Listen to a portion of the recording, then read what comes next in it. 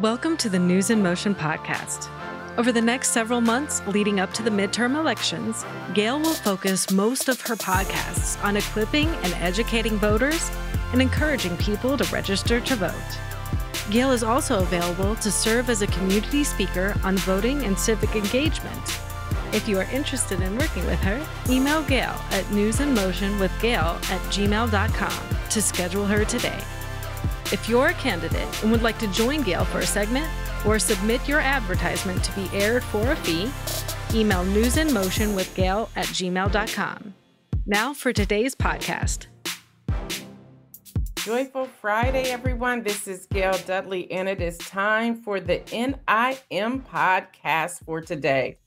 Hopefully, you have been enjoying this past month, all the podcasts from September 2022 as we really zoned in and focused on community service, civic engagement, volunteerism, as well as the political climate, which also includes voter education. Today's podcast is really going to be short, but I want to give you some important information as you prepare to go into your polling location, whether you are voting early or voting the day of, which is November the 8th, 2022, so that you can have the information you need. So you may want to grab a pen or a pencil, piece of paper, or your smartphone, take memos, or your laptop, type this out, text this information out to other people. Be sure to download this particular podcast and please share. You never know who may need this information. So, what I want to give you today are dates. I want to give you dates. Now, y'all, the mid uh, midterm election ballots, um, eh, they they be, they're beginning to be cast real soon. Here, there were actually six states that started early voting in September, and if you are unaware of those dates, I'm going to give them to you now. So, if you live in the state of Minnesota, early voting started for you on September the 23rd. If you live in South Dakota, early voting started for you on September the 23rd as well. If you live in Virginia, September 23rd. The state of Wyoming, September 23rd. Illinois, September the 29th. And Michigan, September the 29th. Again, if you're in Minnesota, South Dakota, Virginia, Wyoming, Illinois, or Michigan, early voting has already begun in your area. Um, next up, we're in the month of October, so let me give you the state and the dates. Um, Maine, you can begin early voting on October the 9th. California, you can begin early voting on October the 10th. Montana, October the 11th. Nebraska, October the 11th. New Mexico, October the 11th. Arizona and Indiana and Ohio, your early voting will begin on October the 12th. Again, Arizona, Indiana, and Ohio, your early voting will begin on October the 12th. Georgia, you can begin voting on October 17th. Iowa, October the 19th. Kansas, Rhode Island, and Tennessee, the three of your states are also early voting beginning October the 19th. So, October the 19th is Iowa, Kansas, Rhode Island, and Tennessee. North Carolina, you can begin early voting on October the 20th. Washington, that's the state of Washington, October the 21st. Massachusetts and Nevada, your early voting will begin on October the 22nd. Arkansas, Colorado, Idaho, South Carolina, and Texas. Your early voting will begin on October the 24th. I'll give October 24th again. Arkansas, Colorado, Idaho, South Carolina, and Texas. October the 25th, the states to begin early voting are Hawaii, Missouri, Louisiana, and Utah. Again, October the 25th, Hawaii, Missouri, Louisiana, and Utah. West Virginia, your early voting will begin on October 26th. Maryland, that's the state of Maryland, October 27th. Delaware, October the 28th. Florida, October the 29th. New Jersey and New York, yours are also October the 29th. So again, for October the 29th, that's Florida, New Jersey, and New York. In November, uh, Oklahoma, you can early vote as of November the 2nd. And then Kentucky, uh, your early voting will begin on November the 3rd. Um, so that's that's what's happening now. What varies by location, Alaska varies by location, though most will start on October 24th. So Alaska, and I'm gonna give these states first: Alaska, North Dakota, Oregon, Pennsylvania, Vermont, and Wisconsin. Your early voting varies by location, so you really need to check your Secretary of State's website to find out your particular location and when you can start voting. So Alaska varies by location, though most will start uh, October 24th. North Dakota varies by county, though no later than October 24th. Oregon varies by county, though drop boxes could be available as early as October 19th. Pennsylvania varies by county, though it could be available as early as September the 19th. Vermont varies by location, though no later than September 26th, which means Vermont, you can start early voting now as of the time of this podcast release. And Wisconsin will vary by location, though not before October the 25th. You're probably asking me, why am I giving a podcast on this? more and more in the research and the study that I do and the sample uh, surveys that I take from constituents all over the United States, I'm learning many people are unaware when they can begin early voting. I will also put in the description of this particular podcast a link that will that you can click and take that will take you directly to the voting guidelines for your state. You have heard me say this now for several months, and I'm going to say it again on this podcast. This is the most important midterm elections of our lifetime. No matter where you stand, whether you are on the Democratic side or the Republican side, or if you are in the middle, in the independent side, or maybe you are a libertarian or the Green Party, or maybe you don't have any labels at all. This is the most important midterm election of our lifetime. A lot is writing on the table here, a lot. So, I need to also share with you the last days to register to vote. So, I'm going to give you all the states for the last day to register to vote uh, for October the 9th. So, here are the states. These are now the last day that you can register to vote um, in these states. Now, first up is October the 9th Alaska, Arkansas, Georgia, Hawaii, Louisiana, Mississippi, Montana, Ohio, Rhode Island, Tennessee, and Texas. Again, the last day to register to vote, uh, October the 9th, for the following states Alaska, Arkansas, Georgia, Hawaii, Louisiana, Mississippi, Montana, Ohio, Rhode Island, Tennessee, and Texas. By the date of this podcast, which released on Friday, October the 7th, go ahead and register today. It takes less than five minutes.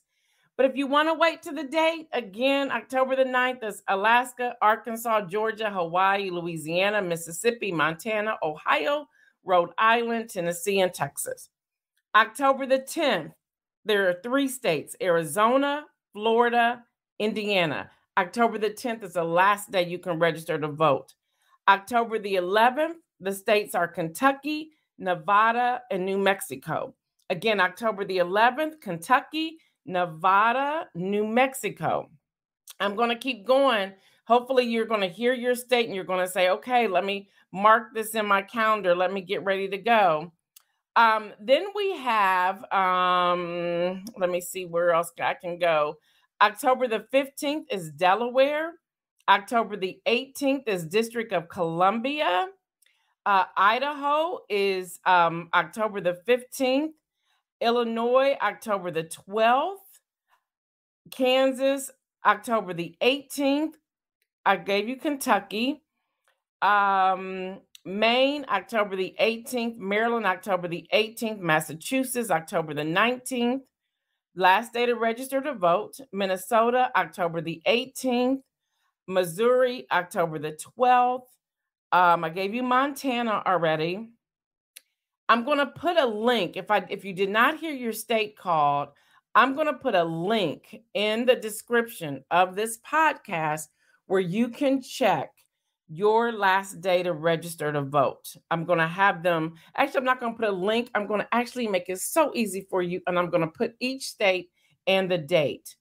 The other thing I want to share with you on this podcast today, just call this an informational podcast, if you will, the student debt relief. Um, what you need to know about student debt relief, you can find it at this website. I will also put this link in the description, and that's www.studentaid.gov backslash debt relief. All right, y'all, the application window has opened this month and it will close on December 31st. Now, y'all, the online application is short and simple. There are no supporting documents that are needed to complete it. After your submission, the federal student aid at the U.S. Department of Education will review your application, determine your eligibility for debt relief, work with your loan ser- uh, server, servicer, excuse me, to process your relief, and again, more information uh, where you can also get regular updates. This link will be in the description, but that is at www.studentaid.gov backslash debt relief. Along with that, I want to share this information with you as I've been talking about what's on the ballot.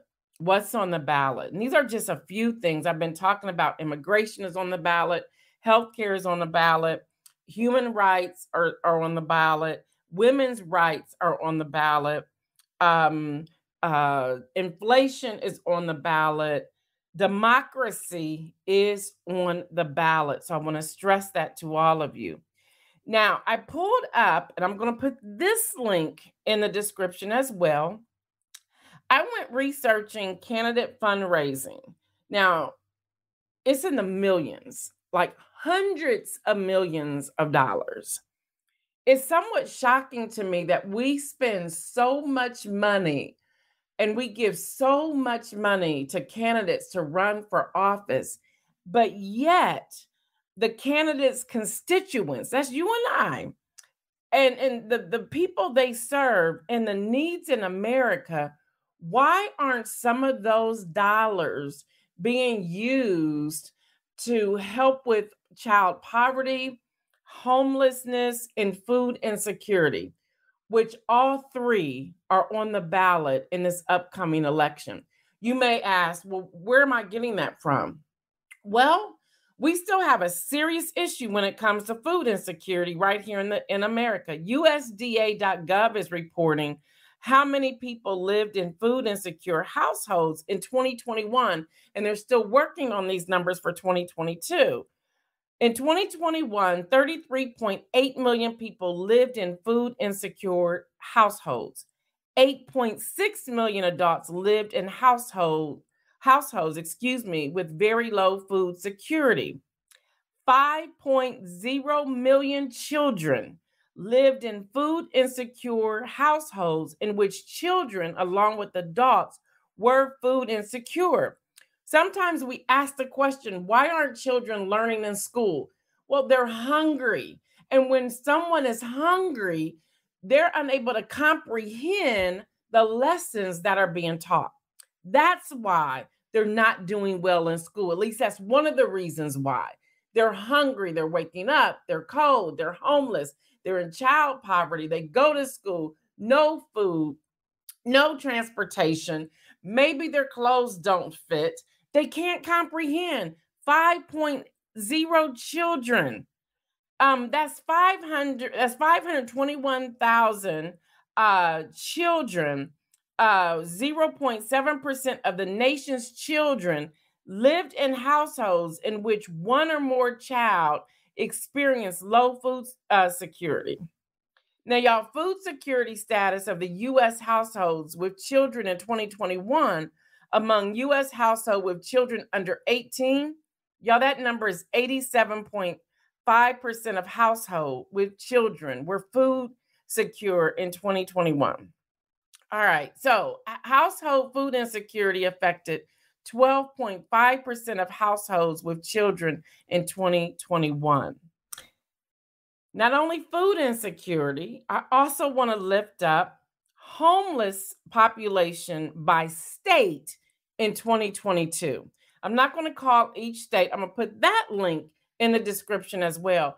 These are things that I believe as citizens of the United States of America that we need to pay attention to.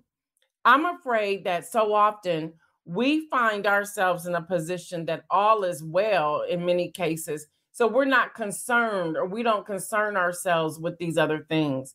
And then when there's um, conversations about tax breaks or or tax increases or health care or property tax increase or decrease or whatever it is, we don't connect the dots enough to understand it comes back to these things that I'm sharing here.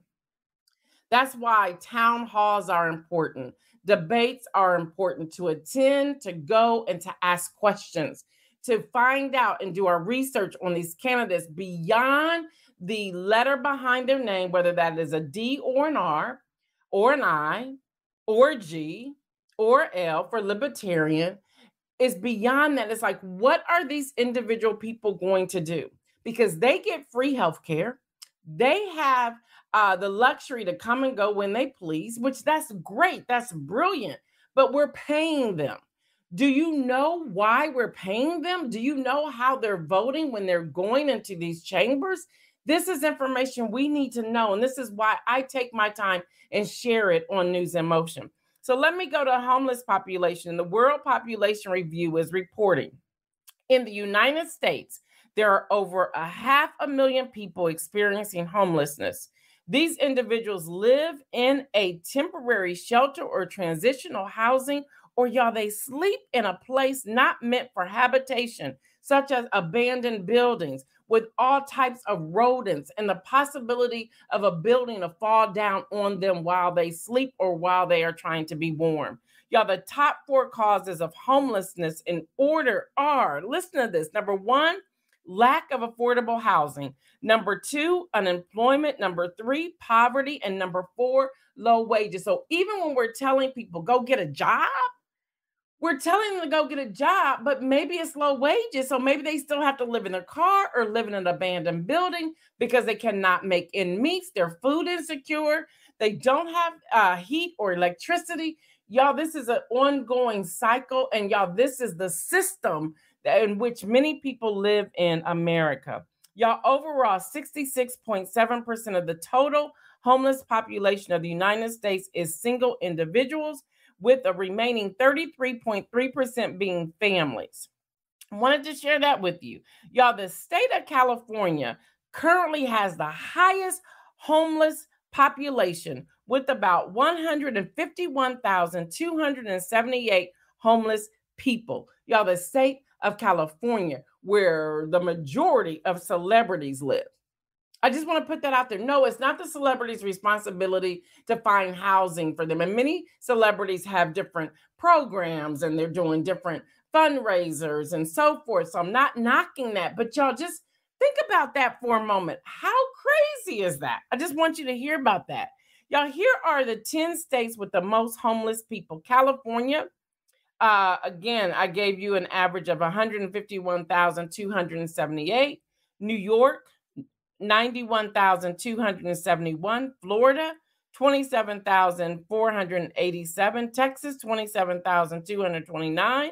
Washington, 22,923. Massachusetts, 17,971. Oregon, 14,655. Pennsylvania, uh, 13,375. Arizona, 10,979. Ohio, 10,655. Again, I'm going to put that link so that you can look at this information for yourself. But there's one more thing before I sign off today child poverty. Y'all, the United States Census is reporting that child poverty fell to a record low of 5.2% in 2021. Now, y'all, the expansions to child tax credit, that CTC, contributed to 46% of the decline in child poverty since 2020. Now, y'all, child poverty calculated by the Supplemental Poverty Measure, that's the SPM, fell to its lowest record level in 2021, declining 46% from 9.7% in 2020 to 5.2% in 2021, according to the U.S. Census, Census Bureau data that was uh, recently released. Now, y'all, a key component of the 2021 American Rescue Plan Act, that's the ARPA, was that the child tax credit expansion. The, y'all, the American Rescue Plan Act increased the value of the child tax credit from 2000 to 3600 for children under 6 years of age and to 3000 for children between ages 6 to 17. Here's my question. Y'all, we have 1 million children under 6. This was in 2021. This uh, child tax credit lifted 5.3 million people out of poverty, including 2.9 million children. But here's my question. These are the questions we need to be asking.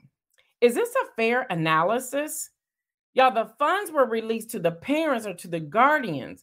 Does this equate to children coming out of poverty? And we're now in the middle of an of uh, of a possible recession. We have all this inflation that's going on. We still are in the middle of uh, food insecurity, and there's still a rise in homelessness. So, are these numbers skewed? Again, y'all, town halls and debates can help us understand this and understand where the candidates that we're voting for, how they're going to align with this.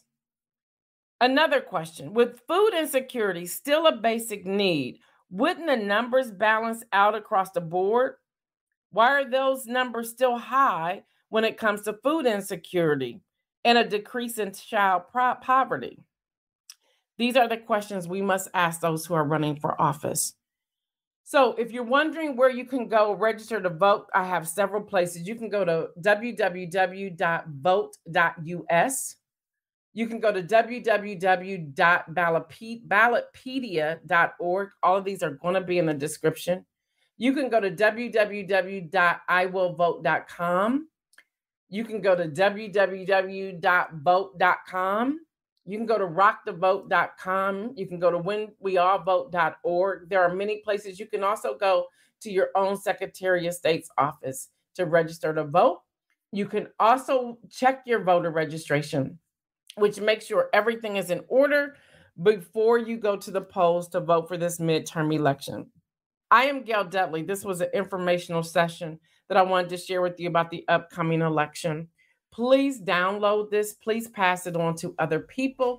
Also, go to the description and check those links that I shared with you, especially your state's voting guide, so that you know what you need when you go to the polls.